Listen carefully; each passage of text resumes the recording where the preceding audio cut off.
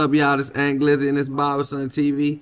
And this the most highly anticipated interview y'all been waiting on. We in the building with Simba. Simba, what's up, Simba? Uh, what it is, yeah, that. For the people that don't know, tell them where you from. I'm from the village, man. Montgomery Village, Maryland, Almo County. Out Maryland, you know, the Grove. What's the day like growing up in Moco? Like, it's decent. Like, you got different areas, so it's different in different spaces. Just like, it ain't the same growing up everywhere in DC, but it's basically like, for me, like, decent, you know what I mean? Start hanging around. Really, you just get into, like, wrapped up in the environment, depending on where you at, for real. What made you start rapping? Cause like I like to rap like music for real, like since a youngin. And I probably learned how to rap when I was like nine or so. So I been like the rapping. And I knew I was good at it, so I did the If you could work with anybody in the DMV, who would it be? for the DMV, Yeah. Brett Fires or so. Brett Fires probably. How did you end up linking up with Money Set? But we locked it in, you know what I mean? I f- money set. Man, we was uh you know, I've been with certain niggas from New York for real. So like when I was locked up I was this man for real Reaper. And like he locked us in for real, so um, I over, we just linked to the stew and all that other I with him. Came around there, you know what I'm saying? Locked it down. I been like this music, cause I liked it I liked one of his songs for real. Uh, the what he was like. He like from the north to the south. That joint, I was with that joint.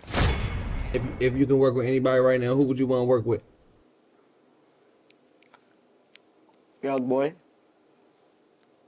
Why you say NBA YoungBoy? Young boy, I with his uh, music for real. That's the baby music that I've been with for real. I feel like y'all styles match though. That's that that's a good fit though. That'll be a good look. Yeah. Nah, for real. What's the most views you ever got on a video? Like one single video. What's the most views you ever got? Five million, probably five million on the 500 bars part two. Damn, you did five million. That's probably every Ant Glizzy video ever. Yeah, that joint went crazy. That joint went crazy for real. What's the name of the song? I gotta go play that joke. What's the name of it? Uh, 500 bars part two. I heard that joke already. I heard. I think I heard both of them jokes already. Yeah. Both of them got millions. You the biggest rapper in Moco. Is there any more rappers in Moco though? Like, do Moco got any other big rappers? My bad. My man for real. Skrilla, Smurda, you know. Stunner, What's their. Instagrams? Tell the people how I find them. Like, what's their IGs? My man Skrilla, uh, the real Skrilla. The real Skrilla, I think D-A, then the real Skrilla. Who you feel like the baddest female rapper in the rap game right now? You know who I'm going with. I love her. Coi Leray, all day. Coi Leray. Coi Leray. Fuck you, Coi Leray like that. G, see the baddest in the rap game, baddest, in- baddest in the industry. Man, you look like that could be your sister, bro. Stop. Playing. Ray bad, man. Who your top five DMV rappers? Top five DMV rappers? Uh, you know. Uh, I put uh, Flo Savage in there. Uh, Flo Savage, Giz Walk. You know me. But my man Lil Smurda. It was a what boy? And I was set. I was set. Yeah. Most definitely. If you can sign a deal with any big DMV rapper that made it out, like a Wale, Shy Glizzy, or Fat Trel, out of them three, which one would you pick? That side with none of them. That would never happen. If you could talk to a label, if a label was listening to you, what would you tell them? Oh Oh man, this Phil. But this is stay tuned, bro. They already I'm already working on you know. When you first came home from jail, did labels reach out to you? I know you probably was the hottest on the market. Yeah, for sure. Couple of Your first million dollars, what you gonna do with it? first million. Yeah. I would buy a business for us off the rip. For real estate too. Then I'm gonna keep five hundred. You know. And just be making money off of that. I see you had went to jail and came back, and me and you had got into it on the internet because the people, you know, the people just being the people. They on YouTube clickbait, and they put something about Ant Glizzy said Simba hot something. But I remember the the live, but I was talking about something completely different. They just put that in the caption, and that joint just flew on. Yeah, so when I seen that, you know, I got offended because, you know, that's some real street. Like, as a man, you already, I was thinking, like, you know, you you can't do that for real because I already know. Everybody really already know what's up with me for real. So I was just like, man. So, you know, anybody would have been on that. But then when, like, really I got the understanding when, like, I know certain people holler at you and holler at Ronnie Mo and shit. And I was just like, bro, it, like he just he got he just was confused. He already know that's not that. So you know, what the hell holler at you.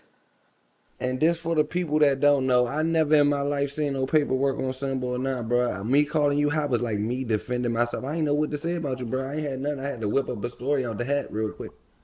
Yeah, I know, and that's what like motherfuckers be trying to do, cause like they be solid. They can't really say nothing about me, so that's when I was like, uh, I just had to do that. And that joint I was was running like, you know, you had your little buzz and so I had to like that shit was Jack.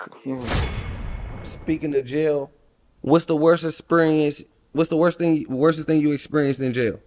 Worst thing I experienced in jail, man. Yeah. I ain't really experienced nothing worse happen to me. You know what I mean? Cause we just like I was good for real. You know what I mean? I was good my whole time in jail, but like the first time I seen a nigga get stabbed, I was I was actually in a war in jail that I had to go over lockup for with a couple of the brothers. I was actually with your man, bruh, my uh, Ronnie Mo. Me and Ronnie Mo. We we had went to war in that joint with another like it was a fake little prison gang like the white niggas. You know what I mean? You know the little racist shit, my. Yeah. But Ronnie, we had the Muslim brothers for real, so they had their knives.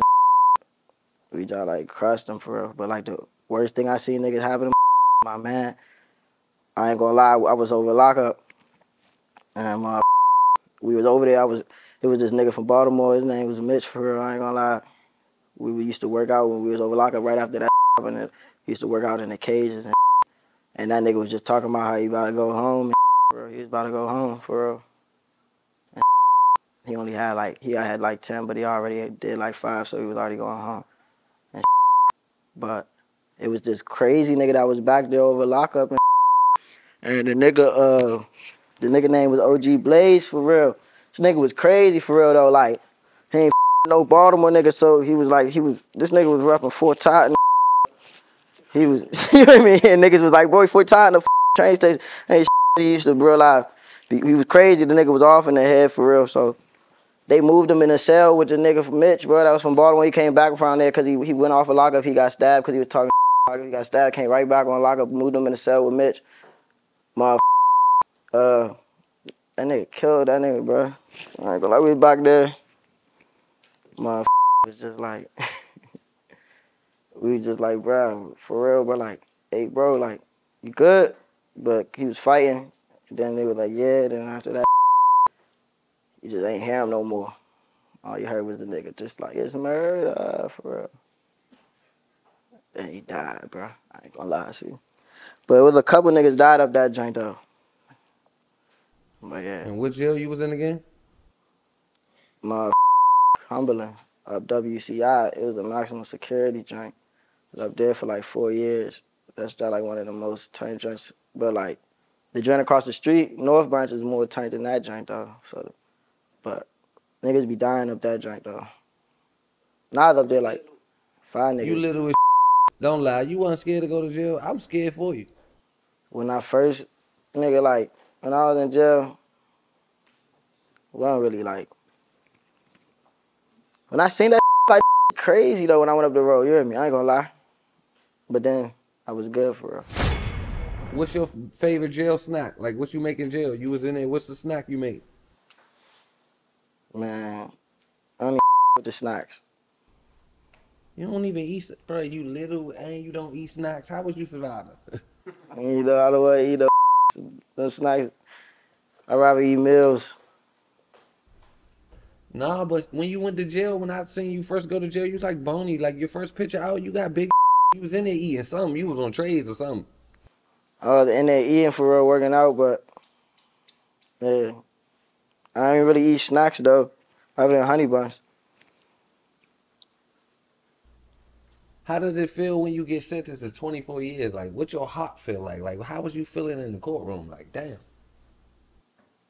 Cause the happened so crazy, like I was like, bro, niggas just lost trial, but I'm thinking like, still, this is my first really uh every time as an adult for real getting in trouble. So I thought I was gonna get like 18 months or maybe 10 years, maybe, but I just like. But my Cody had already came back in and told me that he got 30, so I was like, all right, damn, I already knew they was about to spank me. When it came out, like, damn, they just spanked niggas, bro. That's crazy. For real. It was definitely funny. I'm, I'm glad you got back on that. Yeah, Shit, that's I'd have cried. I'm fucked telling you something. I ain't gonna play bad. I'd have cried. I'd still been crying to this day. You say you would have tried to what? I wouldn't have tried. I said I would have been crying. Oh, nah, yeah. I ain't crying there because there was endless people in that. When you get this time, like, do you do it hit you instantly, or you go back to the cell and then you think about it like, damn. I should hit you instantly and and then. Did life change on the outside when you came back home? Like, was was stuff moving new? Was technology different? Yeah, it was a little different. But niggas had technology in jail for real too. How old was you when you got locked up? Like 17. But then I turned 18 though. So what they waited for you to turn 18?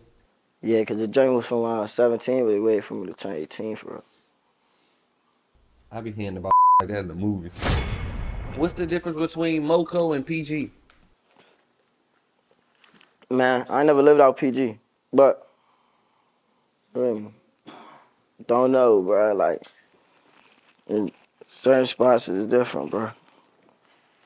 But certain spots in Moco, like, it's, it's all like crazy though. If you see what's going on, I tap in for real. I'm high. What RG stand for? I always seen that on your name. Oh, that's rude. Oh, that's what. And you and you always said root. I always say that. Yeah, Yeah. makes sense. I know. I know you got a relationship with YC. I don't be seeing a lot of rappers keep YC name alive. Could you uh give us? Could you explain y'all relationship and give us like a, a good moment, like a good moment of why I YC, something you'll want the people to remember him by? But YC was the best at the bro. Gonna lie to you. YC was just always turned. He always was trying. He always was, you know, outside for real. Like, so why when I was around YC, like, he'd send me some shit. I never get to go to the studio with him. He always would be on other for real, like on, you know, outside. But YC was like that, bro. I ain't gonna lie. Was like that with that. Yeah. Do you know your plan after rap? Like later on when you get older in life, did you think about what you want to do after rap? Yeah, for real. Just trying to be on my deen for real. Trying to be on my deen, go to Mecca, have a wife for real. Just be on my Muslims. Strictly be on, just be on my deen for real. Have enough money where I ain't gotta do. Be on my deen for real. I ain't even gotta do nothing else. That's all I want to do. I appreciate I appreciate you, and I don't want nothing but the best for you, bro. I just want to see you win. I told you we locked in now from this day on. Whatever the past is the past, bro. Whatever I can do to help you, I'm here. Yeah, I was telling you the same thing, Brody. You know, ain't about nothing. For the people that don't know how to find you, tell them how to find your Instagram. Anybody you want to shout out or anything, go ahead and tell them. It's RG Simba, you know. RG Simba. You know. All right, bro. Just stay out of jail and we good. nah, for real, bro.